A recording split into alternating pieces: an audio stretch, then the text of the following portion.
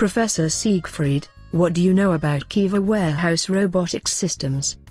Well Maylee, Kiva Systems is a company that makes order fulfillment systems that use mobile robots for warehouse automation.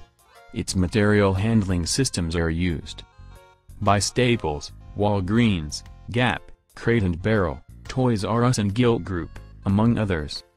How do Kiva Warehouse Robotic Systems work? Traditionally, goods are moved around a distribution center using conveyors, or by human operators with tow racks or forklifts. In Kiva's approach, goods are kept on portable storage units.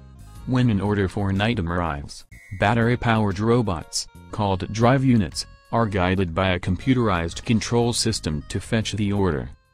They follow a grid system of 2D barcodes on the floor to navigate their way to mobile shelves containing the desired inventory. When the drive unit reaches the correct location on the warehouse floor, it positions itself beneath a pod and lifts it from the ground in a corkscrew action. The unit is then guided to a human packer on the periphery of the floor who takes the process over from there. The pod then picks up a pod from a previous delivery, replaces it on the floor by reversing the corkscrew action, and is then is free to work on another mission. Thanks Professor, for explaining about Kiva Warehouse Robots Systems.